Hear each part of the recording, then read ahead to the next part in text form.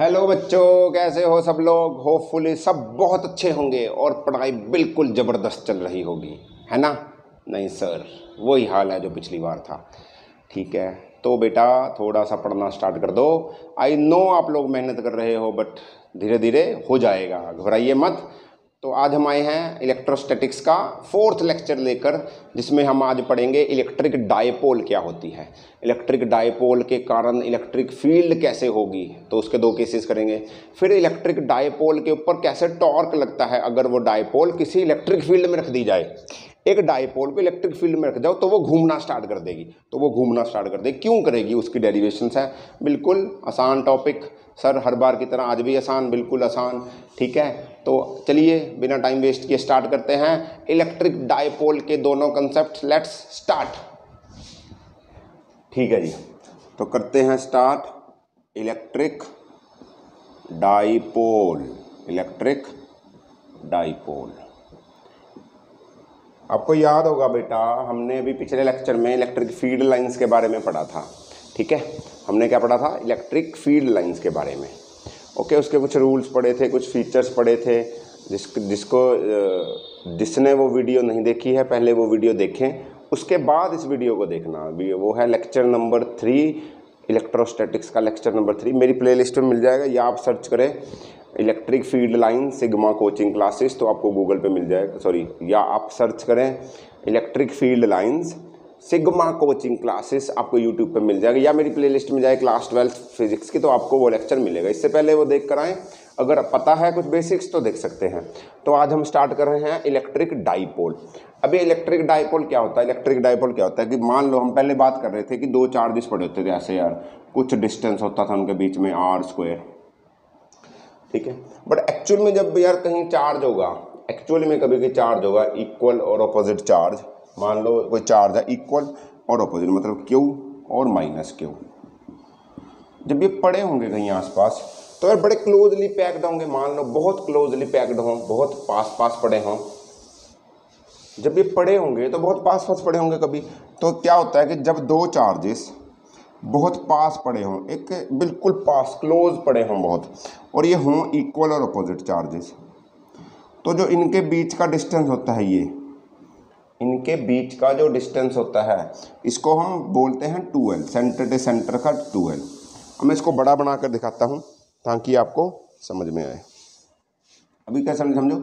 जब दो चार्जेस बहुत पास होंगे, बहुत पास पड़े होंगे, ठीक है? जैसे दो चार्जेस मैं मैं दूर बनाकर दिखा रहा हूँ समझाने के लिए प्लस के चार्ज ये माइनस के चार्ज अरे बहुत पास पड़े हैं तो इनके सेंटर टू सेंटर का डिस्टेंस होगा टू एल इसको ऐसा ही लेते हैं, ये क्या है? सेंटर से इधर का एल और इसके सेंटर से इधर का एल ऐसे डिनोट करते हैं इसको डाइपोल ऐसे डिस्टेंस को। टू एल ही माना जाता है बुक्स के अंदर भी। आप भी टू एल मानिए। आप बोलोगे एल मान सकते हो, कोई दिक्कत नहीं, मान लो।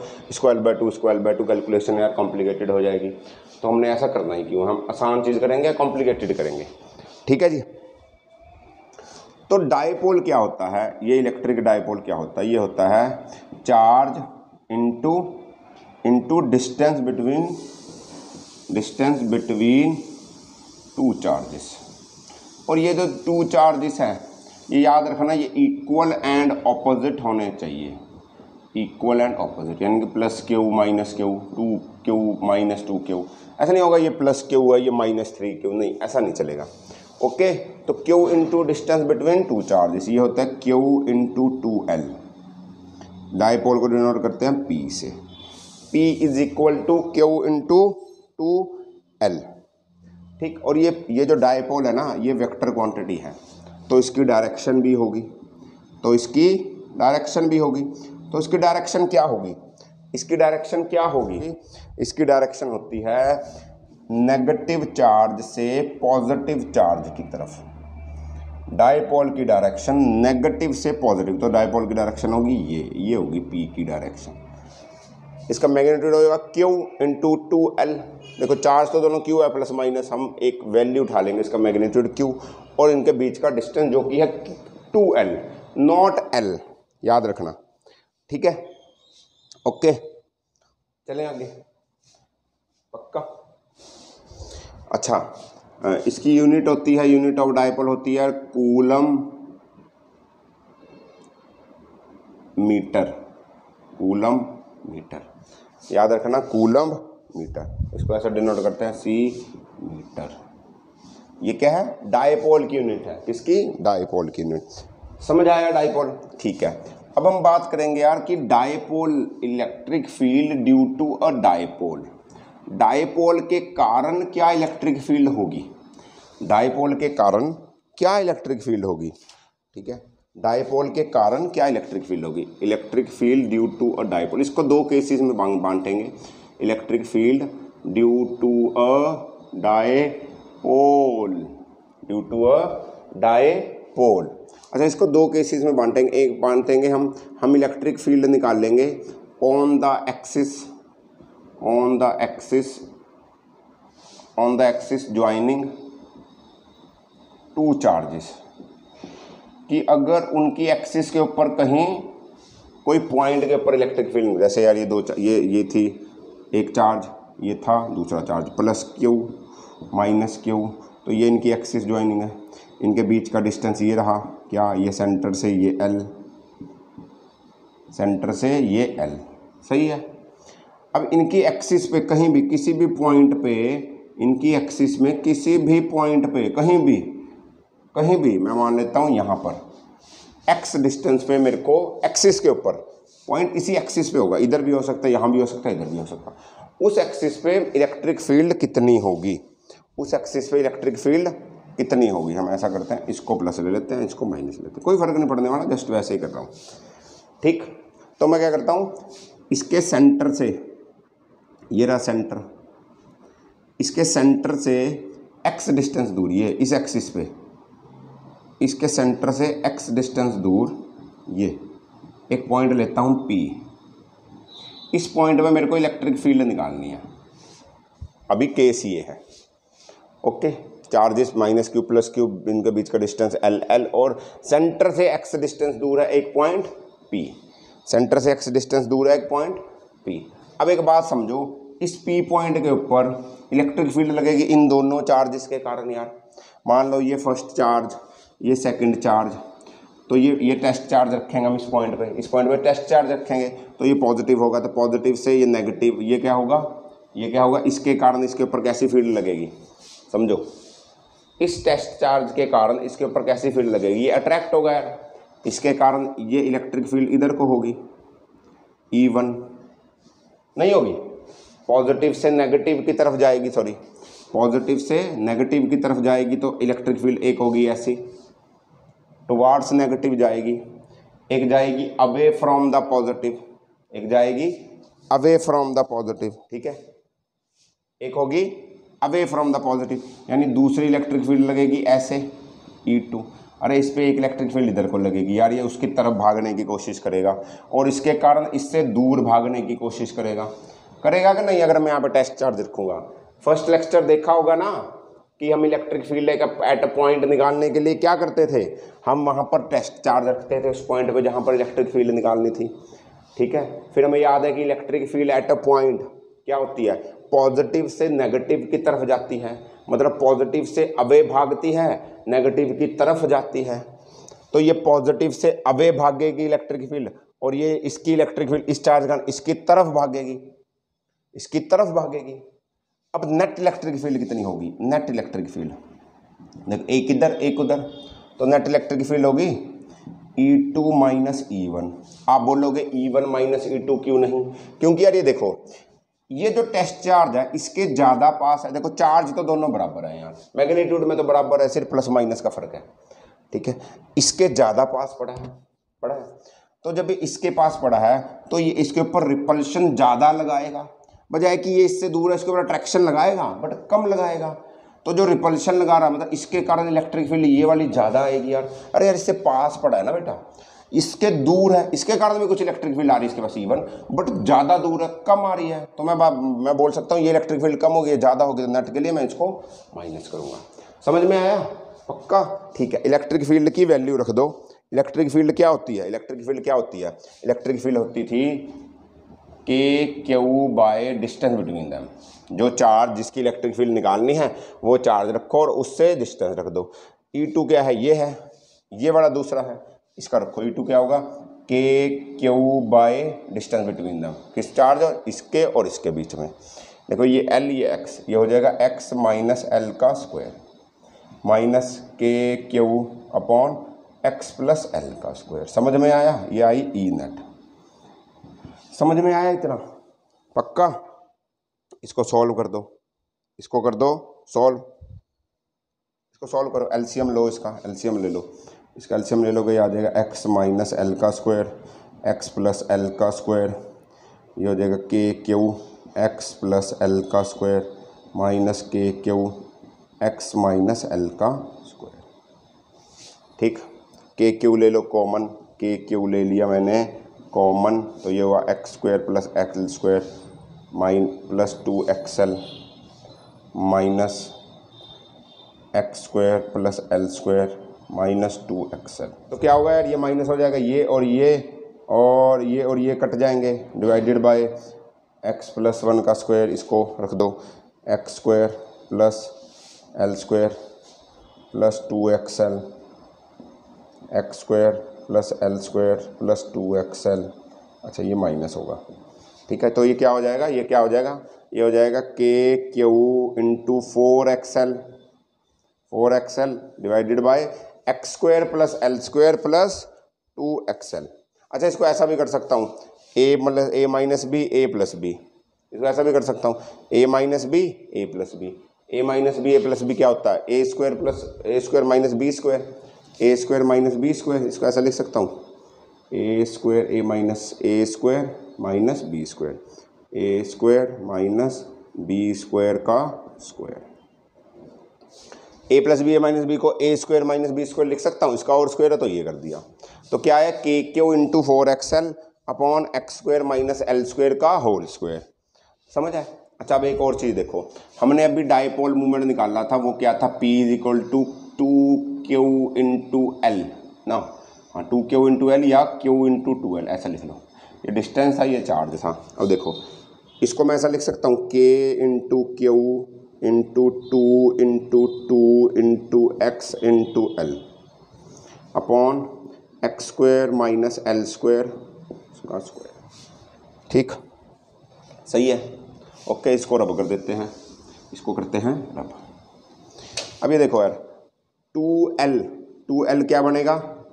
टू एल इंटू क्यू ये रहा। ये टू इंटू एल और ये क्यू ये क्या बन जाएगा? पी तो मैं इसको लिख सकता हूँ k p into two k p into x divided by x square minus l square का square l square minus x square minus l square का स्क्वायर ठीक है? टू के पी एक्स और ये आई आपकी ये क्या आई आपकी electric field due to a dipole electric field due to a dipole अच्छा एक और बात ध्यान रखो।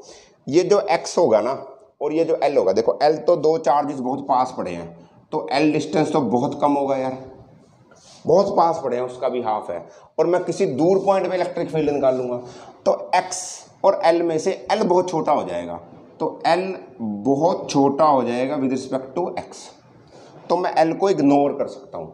तो मैं मान लूँगा एल टेंड्स टू ज़ीरो अरे यार चार्जेस बहुत पास पड़े हैं। एल उसका स्क्वायर करूँगा तो बहुत छोटा लगेगा। बहुत छोटा लगेगा। और एक्स तो बहुत दूर पॉइंट निकाल रहा है उस एक्सिस पे। अगर ऐसा होता है मतलब ज़रूरी नहीं है हर केस में होगा।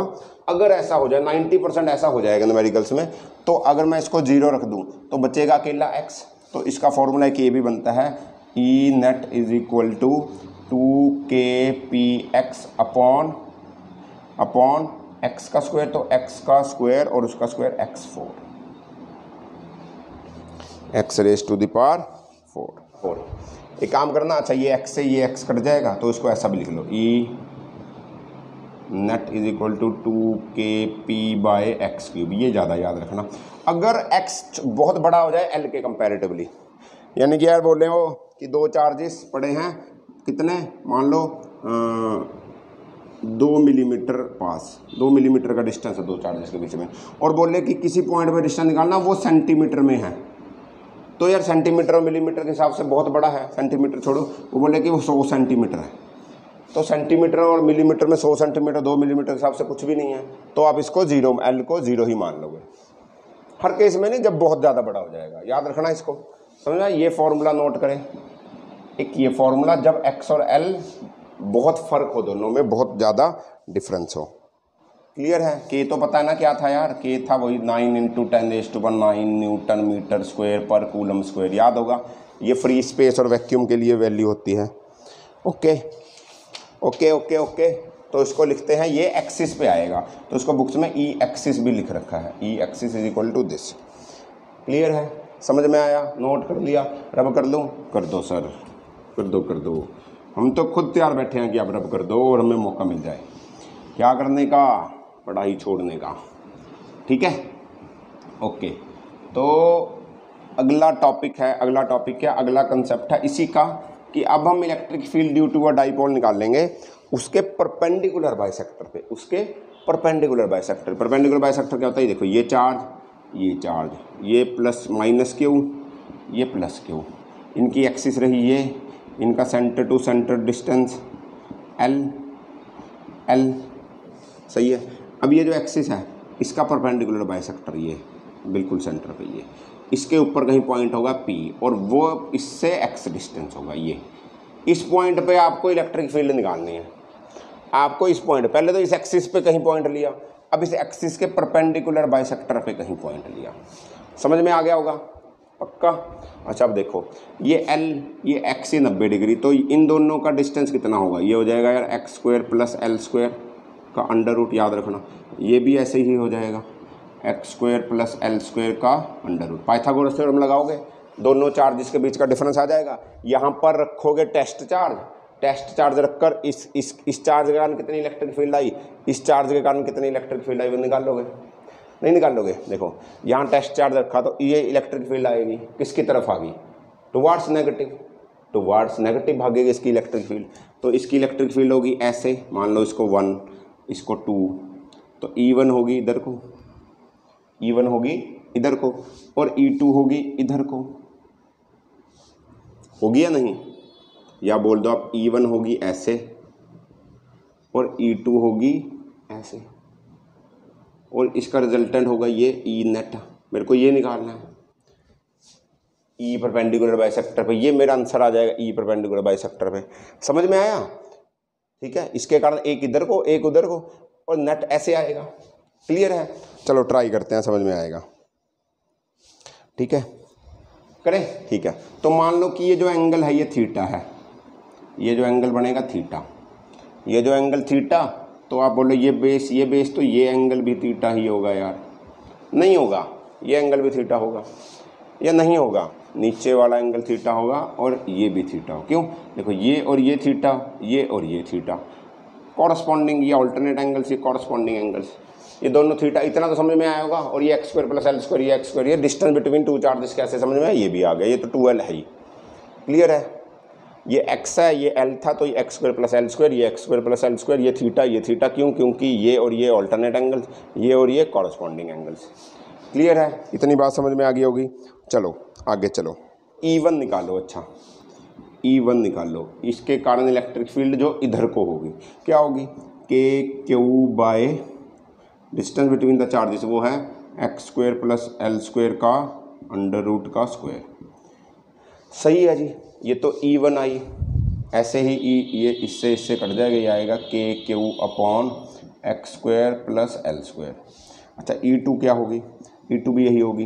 K q upon under root x square plus l square का स्क्वायर तो इसमें भी ये कट जाएगा तो ये भी आएगी k q upon x square plus l square देखो ई e वन भी उतनी आई ई टू भी उतनी आई। अब दोनों अलग अलग डायरेक्शन में हैं। आइए मैं तो बोल बोलना नाइन्टी डिग्री पे आई अलग अलग डायरेक्शन में। मेरे को इसका रिजल्टेंट निकालना। कैसे निकाल लोगे देखो अच्छा इसको बाहर निकालता हूँ मैं यहाँ। इसको बाहर निकालता हूँ। देखो, ये देखो। इस वाले को बाहर निकाल रहा हूँ मैं। ये मेरी ई e वन है। ये मेरी ई e टू है। ई वन और ये मेरी ई नेट है। ये मेरा है थीटा ये मेरा है थीटा ये भी मेरा है थीटा देखो, ये रिजल्टेंट है तो ये वाली होगी ई कॉस थीटा ये भी होगी ई कॉस थीटा यार। थीटा के साथ जो एंगल बनाएगा थीटा इसके परपेंडिकुलर होगी जो, वो ई साइन थीटा इधर को। इसके परपेंडिकुलर होगी इधर को ई साइन थीटा होगी या नहीं होगी? तो देखो, ये उधर को जा रही है, इधर को ई साइन थीटा तो ई साइन थीटा कट जाएगा। अब ये इधर को है, ये उधर को है तो ये थोड़ी कटेंगे। तो क्या हो जाएगा? इन दोनों को ऐड कर दूँगा मैं। इन दोनों को ऐड कर दूँगा। तो ई e नेट कितनी होगी? ई e नेट कितनी हुई? टू ई कॉस थीटा हुई। Two e cos theta e क्या है इसमें? ई e क्या ई वन और ई टू सेम है। ई को रख देंगे। थीटा तो पता ही आपको, ये थीटा है। तो ई नेट कितनी आएगी? ई नेट कितनी आएगी? टू ई कॉस थीटा अब ये ई क्या है? यार ये ई ई वन और ई टू के बराबर है। क्योंकि दोनों सेम है यार। यही ई वन ई टू यही तो ई है। ठीक है? यार, ये ई वन कॉस थीटा हुई, ये ई टू कॉस थीटा हुई, ये ई वन साइन थीटा हुई, ये ई टू साइन थीटा हुई बट ये ई बराबर है तो ये कट गए।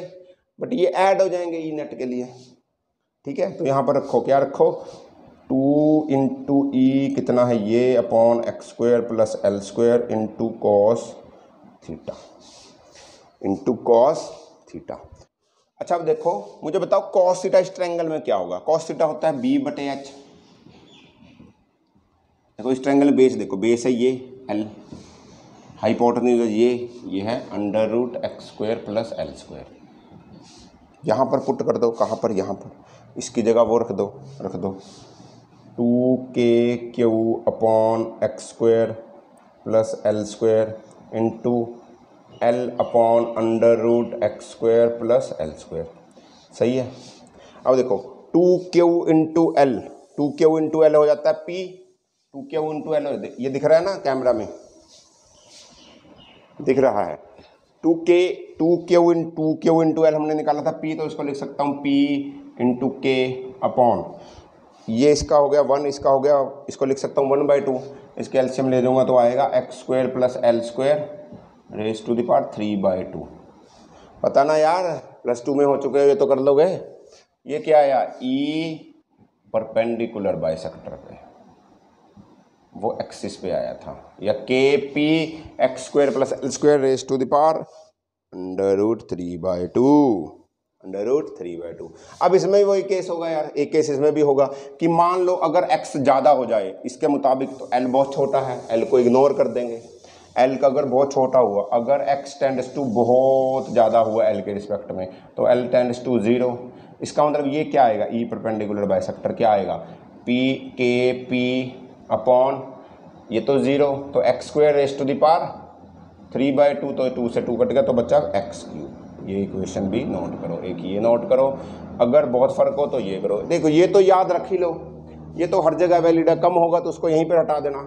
इसको याद रखने की ज़रूरत नहीं है, सिर्फ़ समझा रहा हूँ कैसे बनाइए नाइन्टी परसेंट वैसे तो ये इक्वेशंस लगती हैं कि बहुत बड़ा होता है एक्स एल के रिस्पेक्ट में। परपेंडिकुलर बाई सेक्टर में भी, उसमें भी तो ये ज़्यादा याद रखो। और वो भी पर कंसेप्ट याद रखो क्या हो रहा है। ओके जी? अच्छा एक और कंसेप्ट है इसमें। आ, आ, हमारे हमारे सिलेबस में नहीं है वो बोर्ड्स के सिलेबस में नहीं है। नीट जे ई में कंसेप्ट आ जाता है। मैं आपको डेरिवेशन नहीं करवा रहा उसकी। मैं आपको जस्ट उसका फॉर्मूला लिखवा देता हूँ कि क्या फॉर्मूला है। पूरा प्रूव नहीं करवा रहा क्योंकि हमारे सिलेबस में बोर्ड्स के बोर्ड्स के सिलेबस में वो नहीं है। बट आप उसको फॉर्मूला ज़रूर नोट कर लें अगर पेपर में क्वेश्चन आ जाए तो फॉर्मूला तो लगा ले। अच्छा ये बोलता है कि इन दो के अलावा एक और पॉइंट आता है कि कहीं पर भी पूछ ले यार। अभी तो हमने एक्सिस पे पूछा था यार, देखो। एक्सिस पे पूछा था, इस एक्सिस पे कहीं भी इसी और इस पर पेंडिकुलर बाई सेक्टर अभी बोला इसके अलावा कहीं भी हो जाए, कहीं भी हो जाए, किसी भी पॉइंट पे इलेक्ट्रिक फ़ील्ड पूछ ले। तो क्या करोगे? तो क्या करोगे? तो कुछ नहीं करोगे। डेरिवेशन है उसकी तो वो एनी पॉइंट के लिए ई एट एनी पॉइंट उसके लिए एक फॉर्मूला है। नोट कर लो डेरिवेशन नहीं करवा रहा। आप सिर्फ़ फार्मूला याद रखें और उसको लिख लें। उसका फार्मूला होता है k p by x cube under root three cos square theta plus one any point इस पे इस पे, देखो, ये फॉर्मूला इन एक्सिस और इस पे भी वैलिड होगा। एक्सिस और उसके लिए भी ये फार्मूला वैलिड होगा। थीटा बदल जाएगा तो ये उस पर भी डाल दोगे। बट उसके अलावा वो आसान फार्मूला वो याद रखो। ठीक है जी? K p by x cube three cos square theta plus one किसी भी पॉइंट पे। एक्सिस और परपेंडिकुलर बाई सेक्टर के अलावा कहीं भी पॉइंट हुआ यार। इलेक्ट्रिक फ़ील्ड निकालने को बोला जाए तो ये फॉर्मूला लगा लेना। चलें आगे। ठीक है जी। ये सिर्फ़ नोट कर ले, मैं नहीं करवाना चाहता, मैं इसको बताना नहीं चाहता, क्योंकि हमारे बोर्ड्स में ये टॉपिक नहीं है सीबीएसई e के सिलेबस में तो हम सिर्फ़ बोर्ड्स की तैयारी कर रहे हैं। जेई नीट e में इसका क्वेश्चन आ जाता है बुक के अंदर इसकी डेरिवेशन होगी एनसीईआरटी e में नहीं होगी, किसी और बुक्स में प्रदीप वगैरह में होगी तो देख लेना। ज़रूरत नहीं है। अब बात करते हैं अगला topic torque on a dipole in an electric field. In an electric field. ये कहते हैं कि जब किसी डाइपोल को एक इलेक्ट्रिक फ़ील्ड में रखेंगे तो उसके पास टॉर्क आ जाएगा। कैसे आ जाएगा? देखो। यार ये देखो, ये इलेक्ट्रिक फ़ील्ड है। कांस्टेंट इलेक्ट्रिक फ़ील्ड है अभी तो बराबर इलेक्ट्रिक फ़ील्ड ई मैं इसमें डाइपोल रखता हूँ ऐसा। दो चार्ज ये चार्ज ये चार्ज इनके बीच का डिस्टेंस टू एल सही है? ये एंगल बनाएगा इलेक्ट्रिक फ़ील्ड के साथ theta theta is angle between electric field and dipole याद रखना। ये थीटा है, जो डाइपोल पड़ी है, और जो इलेक्ट्रिक फ़ील्ड उसके बीच का एंगल है थीटा ठीक है?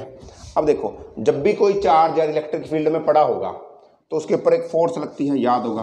कोई भी चार्ज इलेक्ट्रिक फ़ील्ड में होगा तो उसके ऊपर फोर्स लगती है क्यू इन टू ई याद है? या भूल गए?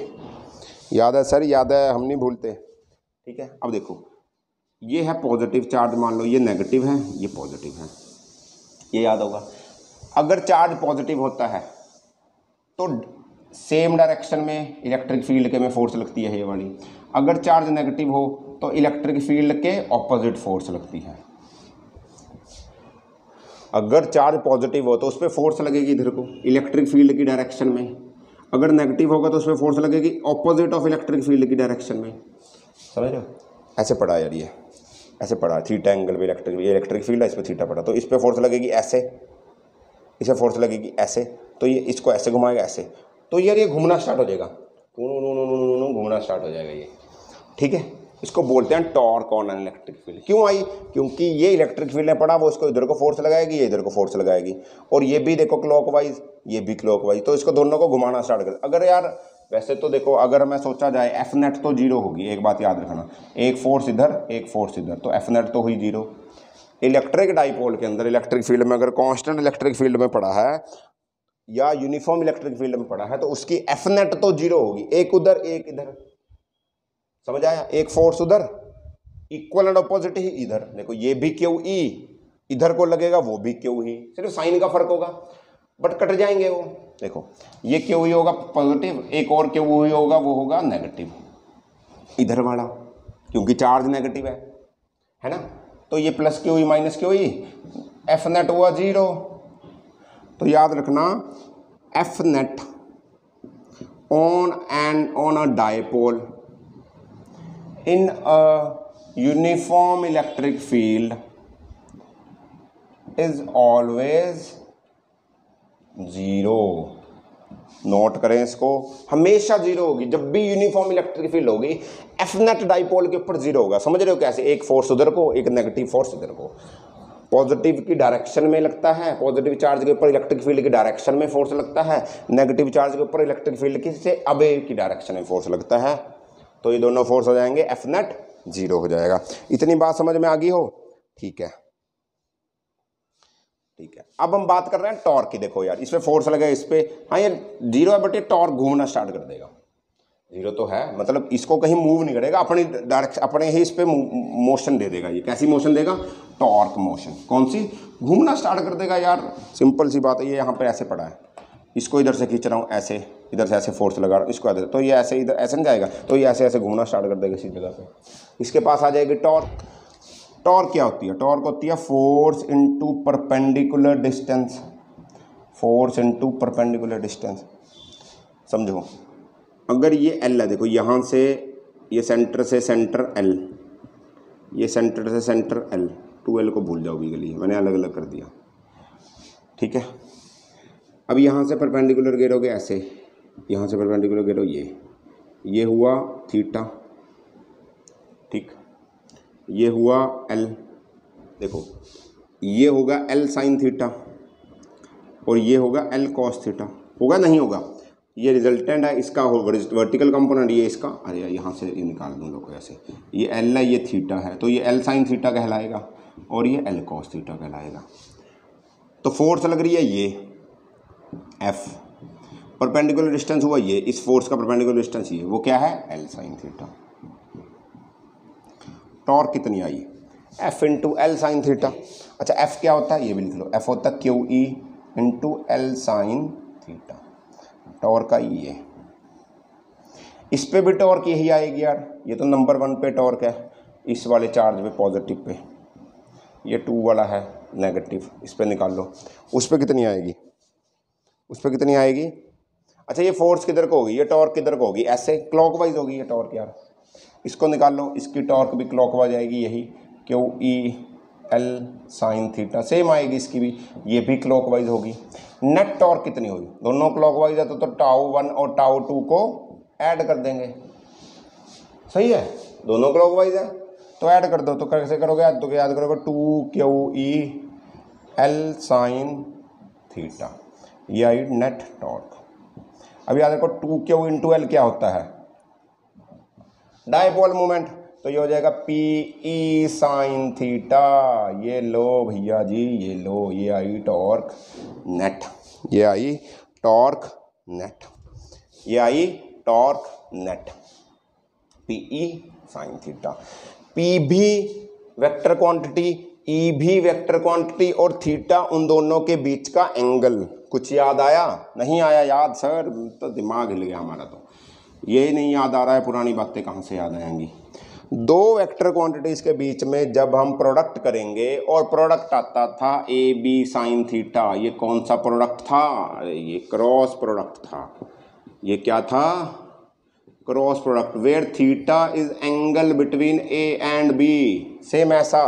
पी और ई e के साथ sine theta where theta is angle between dipole and electric field करवाया था। तो इसको मैं ऐसा भी लिख सकता हूँ। Tau net is equal to p cross e लो दोनों वेक्टर क्वांटिटीज है। नहीं लिखना, ऐसा याद रखो, कोई दिक्कत नहीं है, सिर्फ़ बता रहा हूँ, याद रहेगा, ये लो, एक ही बात है।